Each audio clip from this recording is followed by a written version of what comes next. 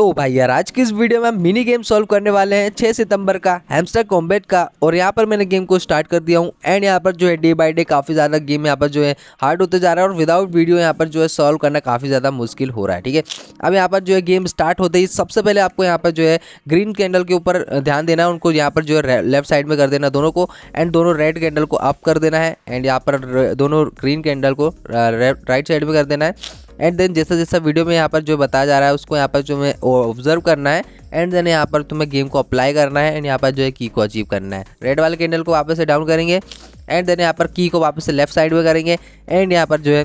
थोड़ी थोड़ी सी स्पेस बन चुकी है और थोड़ा थोड़ा सा यहाँ पर जो है गेम समझ में आने लगा होगा, ठीक है? अब यहाँ पर रेड वाले कैंडल को वापस से ऊपर कर देंगे ग्रीन वाले को लेफ़्ट साइड में एंड वापस से ग्रीन वाले लेफ़्ट साइड में, पूरी ग्रीन यहाँ पर जो रेड लेफ़्ट साइड में कर देंगे रेड वाले को वापस से डाउन करेंगे एंड देन यहाँ पर जो है ऊपर वाले को जो ग्रीन को है उसको करेंगे हल्का सा साइड एंड वहाँ पर जो थोड़ी जगह बन जाएगी तो फिर उसके बाद अपन कर देंगे की को आगे एंड देन जैसे जैसे वीडियो में बता रहा है वैसे वैसे आपको यहाँ पर जो है फॉलो करना है।